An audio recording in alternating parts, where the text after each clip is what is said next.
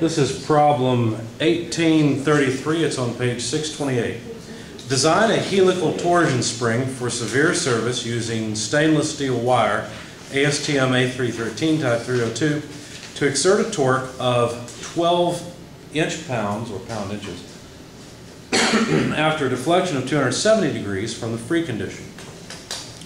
The outside diameter of the coil should be no more than one and, uh, one and a quarter inches. Specify the diameter of a rod on which to mount the spring. All right, so this is a torsion spring. So quick, what, what kind of uh, stress is in the material, since it's a torsion sp- spring? That's what everyone says, torque. No. There's actually torsional stress in helical springs, okay, in helical compression and extension springs.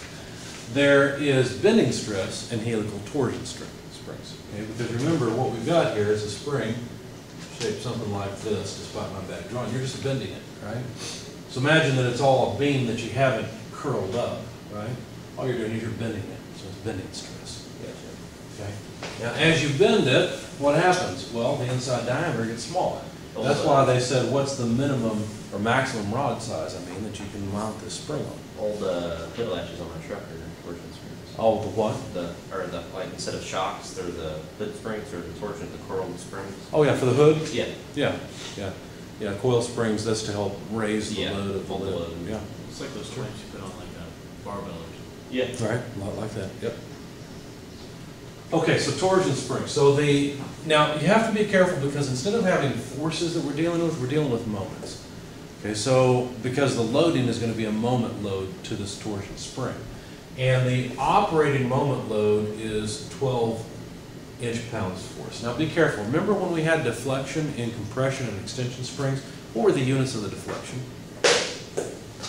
Length, inches, right? If you have a torsion spring, what is the deflection unit going to be? It would be degrees, right? Or radians, or some angular dimension. Okay? And so the operating angle is 270 degrees. Now, that is the same thing as three-quarter revolutions, and it may be handy to have revolutions. The outside diameter of the spring is one and a quarter inches. And that's, that's a maximum specification, that's not a specification we have to hit. You just have to be less than that. We're supposed to design the spring and find the rod diameter for mounting. So, uh, what I'm going to do is begin with the mean diameter again. The mean diameter means pretty much the same thing it did in uh, compression and extension springs. But if I have some kind of size requirement here, then I may as well go ahead and set the mean diameter so that I can try and reach that size requirement. Okay, now, when the spring is being operated, is its body size going to go down or go up? Down, right? When it's being operated, its size is going to go down. Now, this is the normal case. You mentioned a barbell case a minute ago. The, the difference there is that it's opposite, right? You, when you press the spring, the, the ends are made such that pulling them together opens it up. So anyway, that's not a normal torsion spring design. So the mean diameter should be pretty close to this. I could make it this, but the problem with that is I wouldn't have any space for the wire diameter. So I'm gonna make it one and an eighth inches. Okay, notice I'm using a lot of inches. One of the reasons I'm doing that is because they're still so common. And also, you need to get used to recognizing eighths, sixteenths, thirty seconds, uh, three eighths, all these different things. You need to start recognizing them, recognizing the decimal. I don't know that the mean diameter of my spring is really gonna be accurate enough to, for this to be warranted, this five thousandths of an inch. But what I'm saying is one and an eighth is less than one and a quarter, okay? All right, now, I need some design stress to start with. Remember when we were dealing with uh, extension and compression springs, we dealt with torsional stress? Now, since we're dealing with a torsion spring and bending stress, we need a normal stress. Okay, that's why there's a separate set of charts for torsion spring design. You guys see that, do you have a uh, bookmark yet so that you can find those charts quicker than I can? It'd be a really good idea. 620 through 623. Like I said, if you don't, if you haven't tabbed your book, There's definitely some of the pages that you need to tab.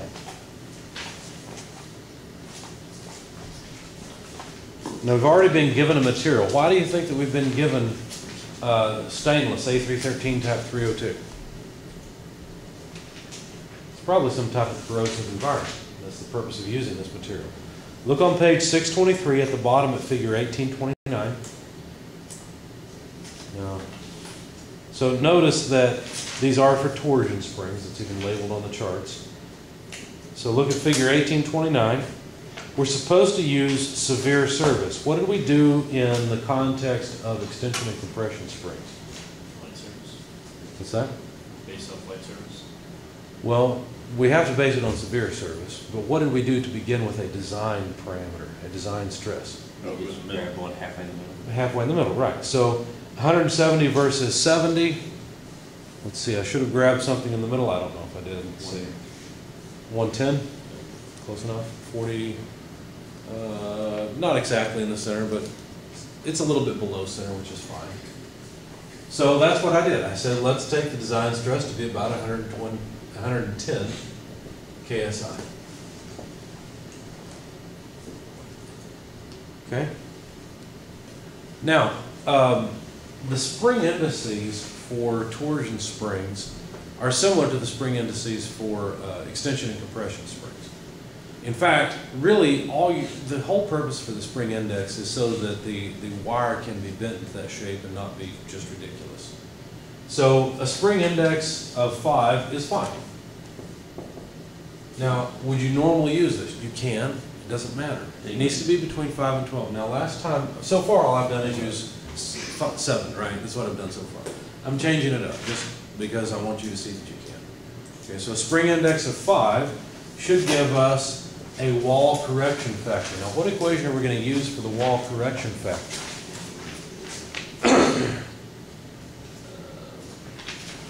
Give me an equation number, page number. Eight two five, six oh five?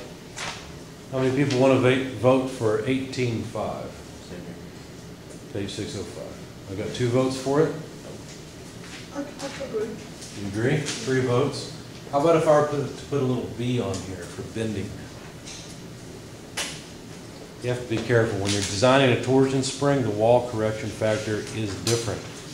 Go to page six twenty and look at equation eighteen twenty. It's because the geometry is a little bit, it's not so much because the geometry is different, because it's still a coil of wire. The reason for the change is because the way that it's stressed is different. So you have to use the bending Wahl correction factor, not just the Wahl correction factor. This is for torsion or heel. Or heel contortion. Exactly. So here's the, here's the short version. Eighteen twenty is for torsion springs.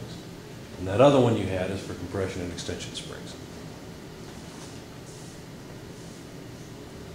Now, like I said, your author always has an example and the, um, he frequently incorporates the solution steps into the example. Now, let's see, um, page six twenty-four is his example with essentially the steps on it for how you would calculate or how you would design a spring. So you may want to mark this page because this is basically your design procedure.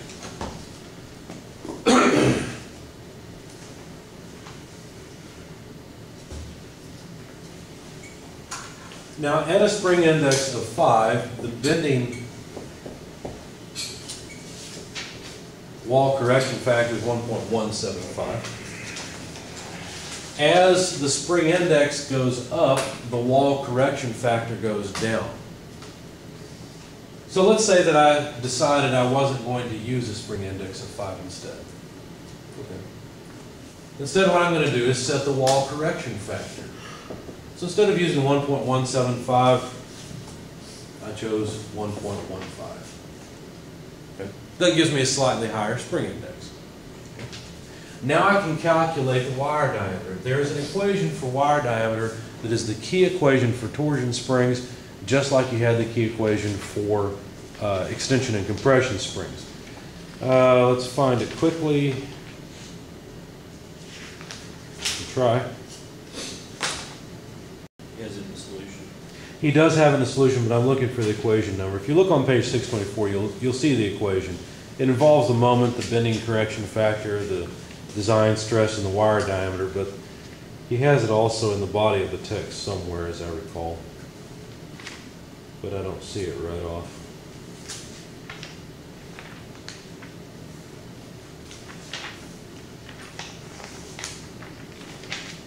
It's the most important equation for torsion springs, and you definitely want to give it a, uh, an equation number.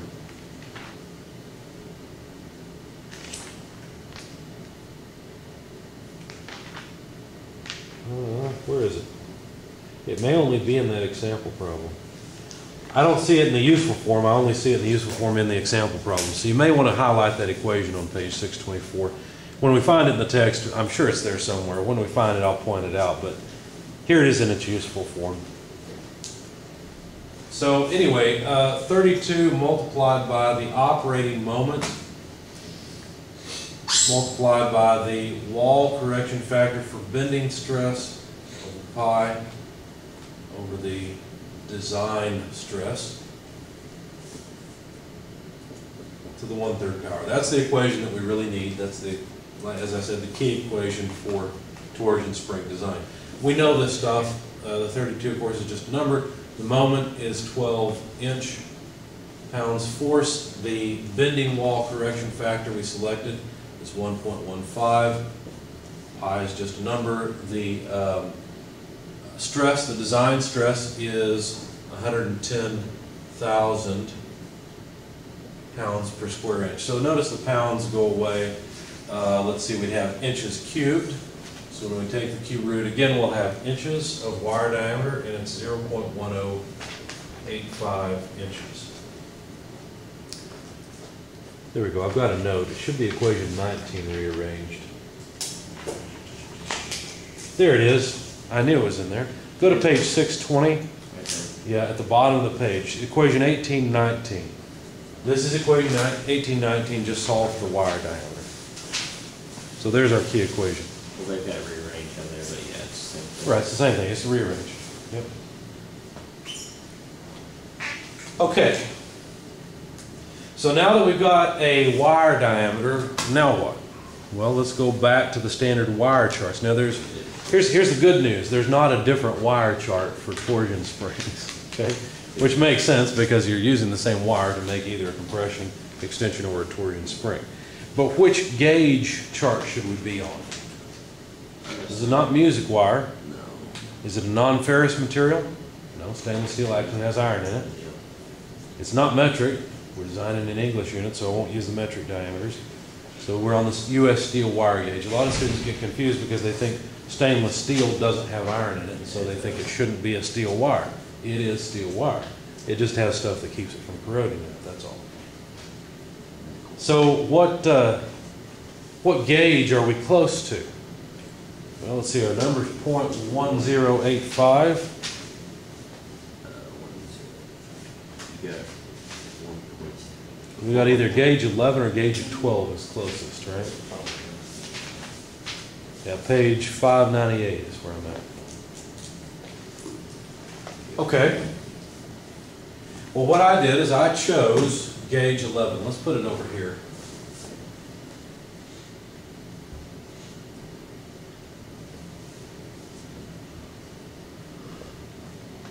This is not a given, so I'm gonna put a line there to separate it. Why do you choose so far?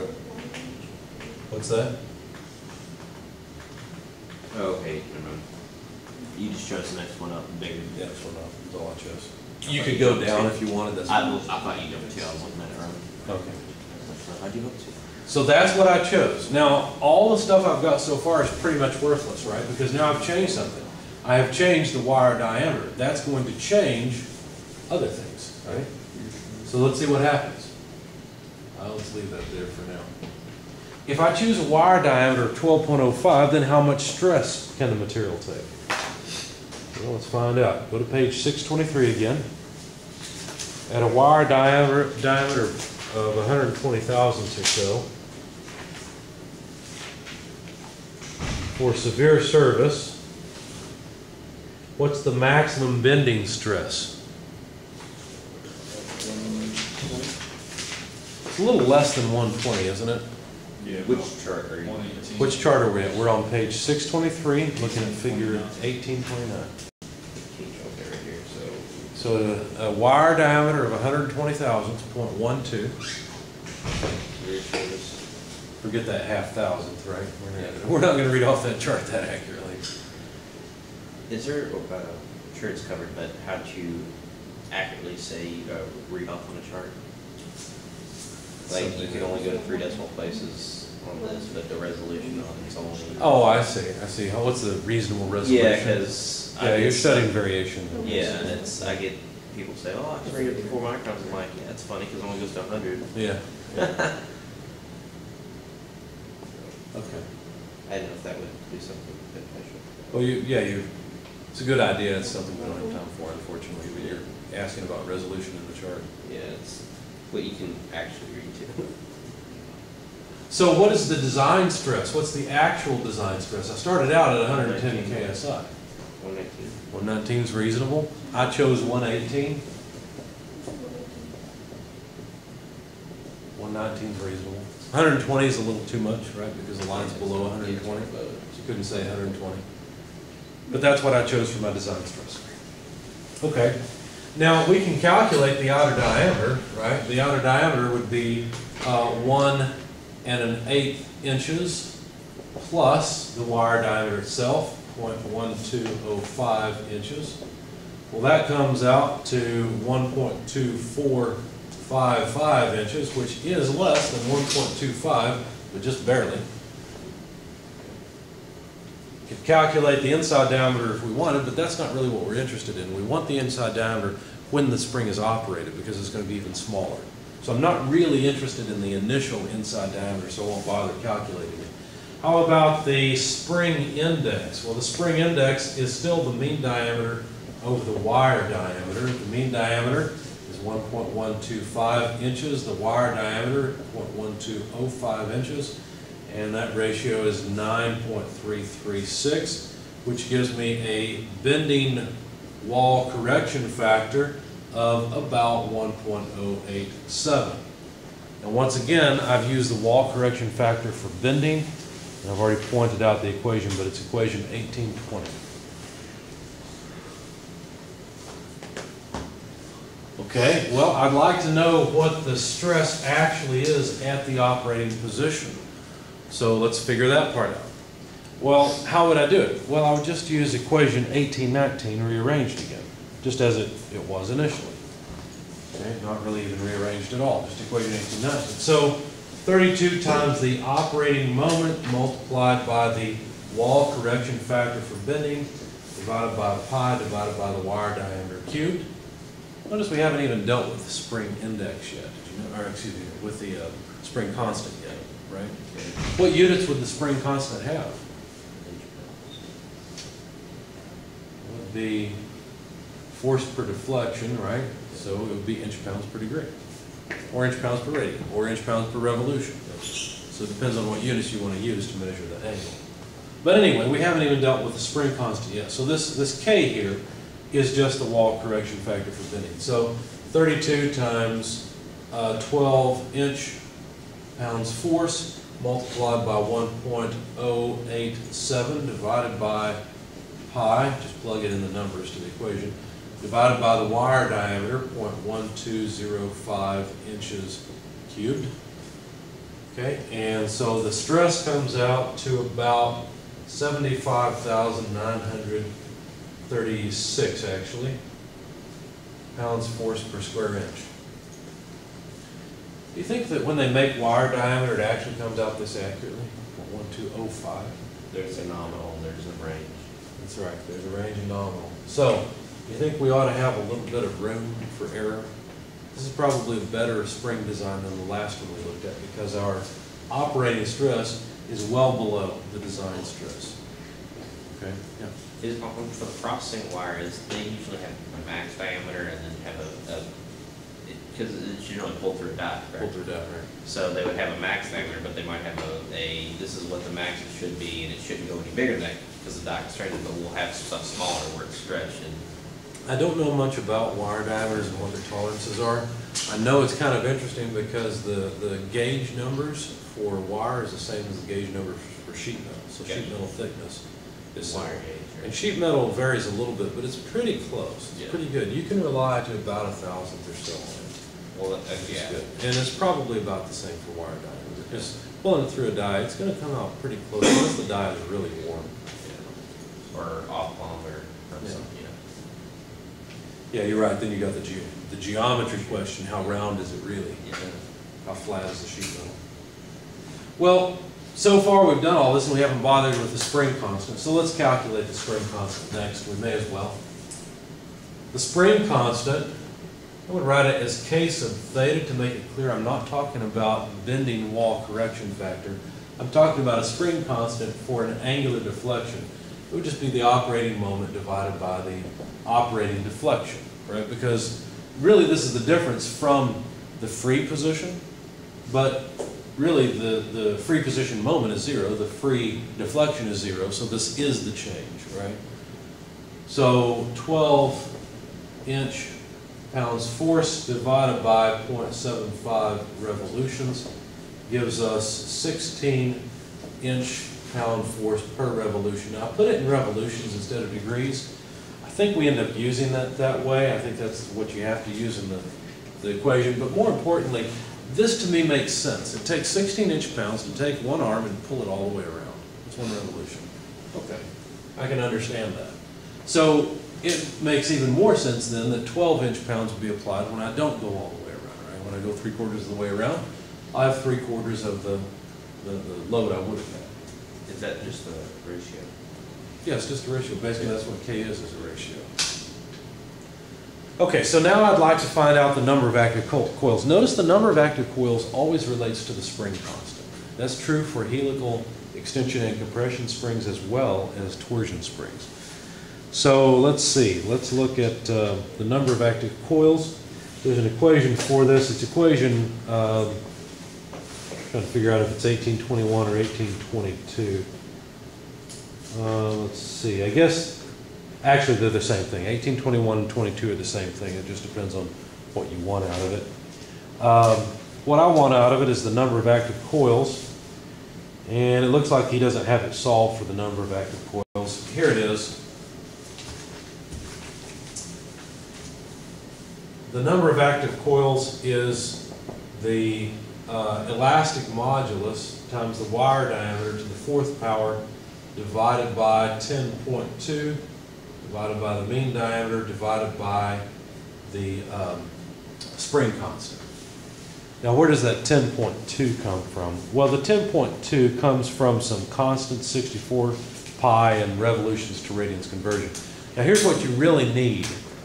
The K naught in equation 1822, that K has to have units of uh, moment per revolution, okay? I want you to make a note of that, that is per revolution. Because that 10.2 has a conversion in it to go from radians to revolutions. And if you don't know that, you can end up with your spring constant wrong and not plug in the right units and not get the right answer. Okay, now E is Young's modulus, as you would expect. But we can't just use 30E6. Steel has a springiness of 30E6, right? Everybody knows that. That's an approximate number. Now, it's, it's a good approximation, but it's not as exact as we need it. So let's go back to the, um, the table that has the uh, material properties. It's page 606 for the various materials. So page 606, table 18.4. Now, the tension modulus that they mention here, that's just Young's modulus, that's just E. And we're looking at um, stainless steel, 302. So what is Young's modulus for stainless steel? Ten times six. You're looking at the shear modulus. You want to look at the at the uh, tension modulus, 28. go over to Young's. Yeah. Yeah, 28 times 10 to the 6 PSI, okay? Everybody see that?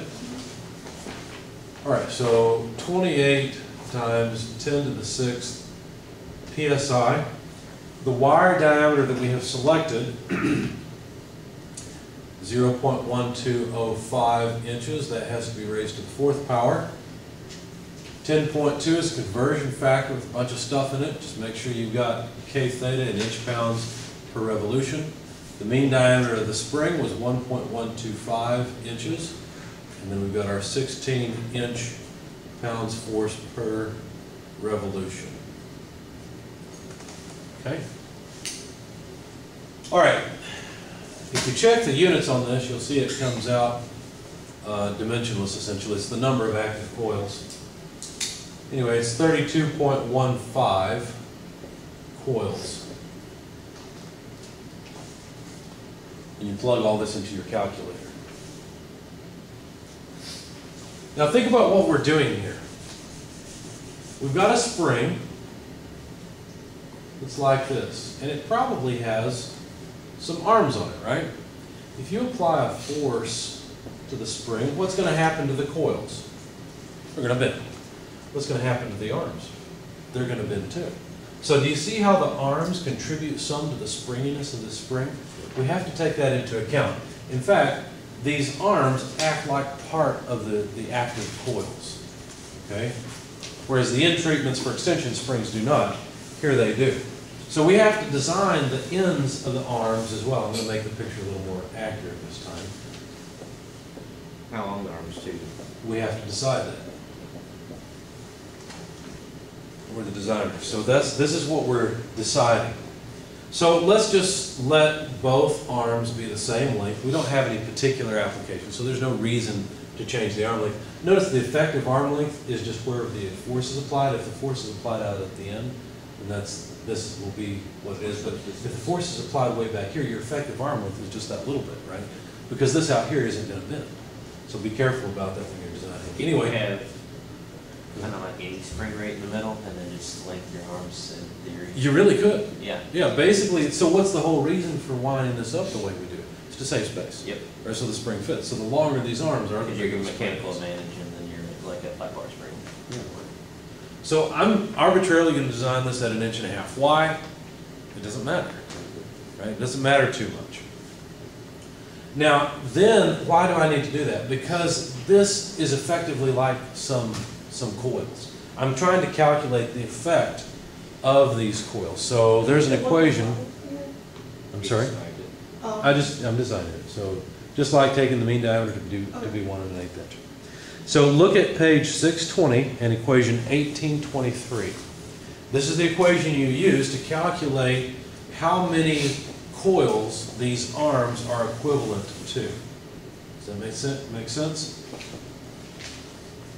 So we need the length of the arms, they're the same, so this is effectively three inches in total. Do you guys see that? L one plus L two is just three inches? Yep. Divided by three pi, the threes cancel nicely, that's why I chose an inch and a half actually. The mean diameter, yeah, cheating. The mean diameter is one point one two five inches. So, The inches go away, so effectively this is just like having 0.28 coils. There's, these arms act and take care of 0.28 coils that I don't need in the body. Does that make sense? So the number of coils I need in the body are just the number of active coils less the contribution of the ends. Make sense? Mm-hmm.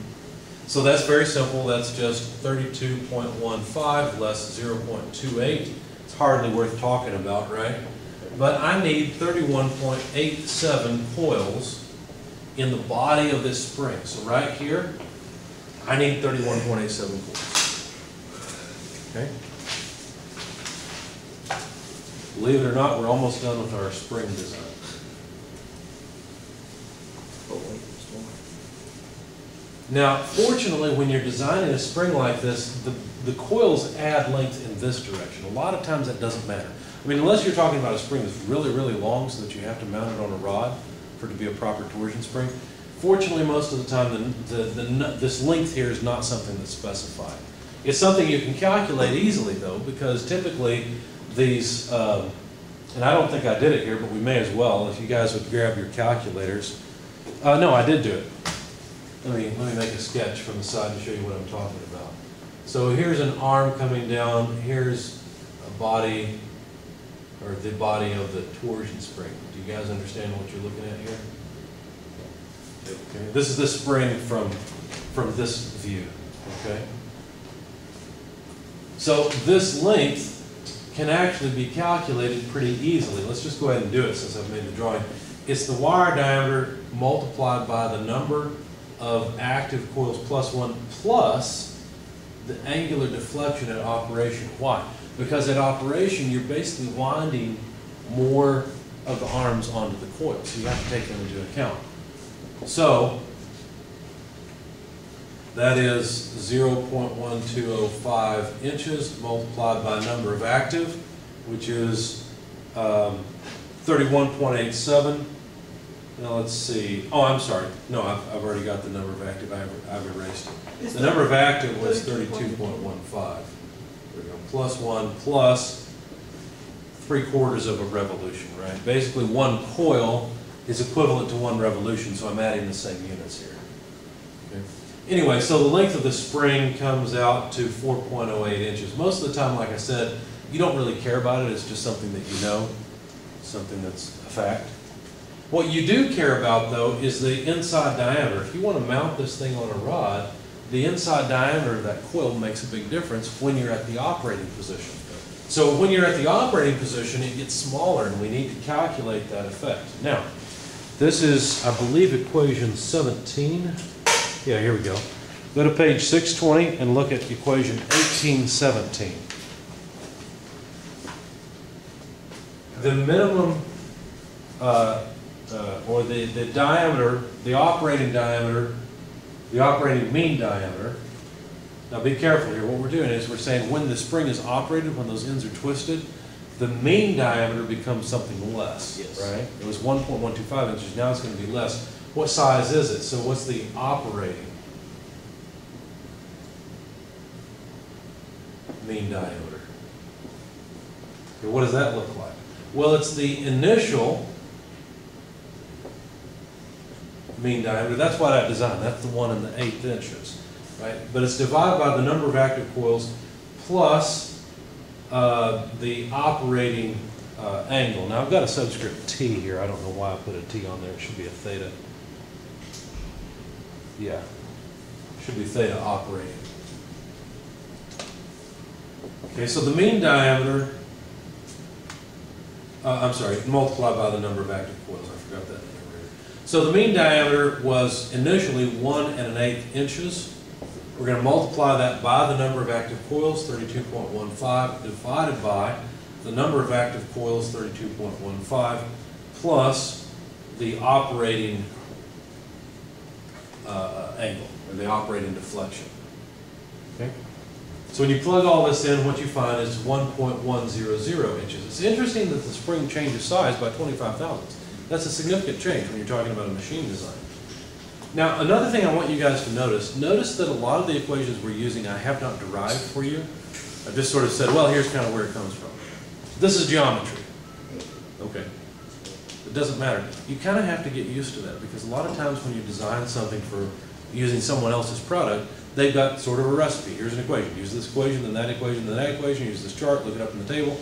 Everything comes out, you're done. Okay. You, a lot of times you will not understand where a lot of this stuff comes from. You may understand pieces of it, like what is this thing, what is this mean diameter, or what's this stress, and what is it supposed to be.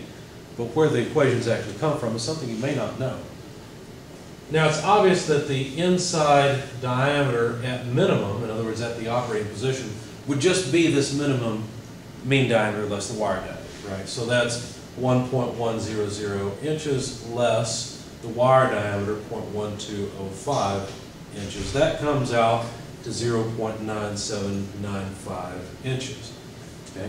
Now, would it be a good idea to specify a rod at 0.9795 inches? No. Usually you have a rod in the spring to keep the spring from, from basically just doing nothing, right? Because if you try to twist this, the spring's just gonna turn. So you have to mount it on a rod to prevent it from turning. That way it will actually be a proper torsion spring. Anytime you've noticed that you've taken a, a torsion spring off of a machine, it probably had a rod going through. So what you normally do is you design the diameter of the rod to be about ninety percent, so 0.9 of the minimum inside diameter. That's the normal, okay? Now, um, when you do that with this, obviously, we're just gonna take ninety percent of this number, I won't write it out, it's 0.882 inches. Now, when you do that, you're not gonna specify a rod that's 0.882 inches, that doesn't make any sense. Because, right, you go to a standard size, a basic size. I would just go to the closest one. What's closest to this? You guys recognize it in decimal? Seven eighths. Seven eighths, that's right. 0.875 is close to this. So I'm gonna specify the rod diameter to be seven eighths of an inch. Now, rod could be oversized, it could be undersized. But I've got a little bit of space from seven eighths, from 0.875 to 0.882, right? So I've got a little bit of room there, a little wiggle room. And I think that's it. We were supposed to specify the minimum rod diameter, or the rod diameter that the spring would be mounted on. We've got the wire diameter that the spring is to be made from. We've got the number of active coils, the length of the arms on the end, and we're done with our design. Okay. Now you have a cure for insomnia. Any questions? Uh, okay. All right.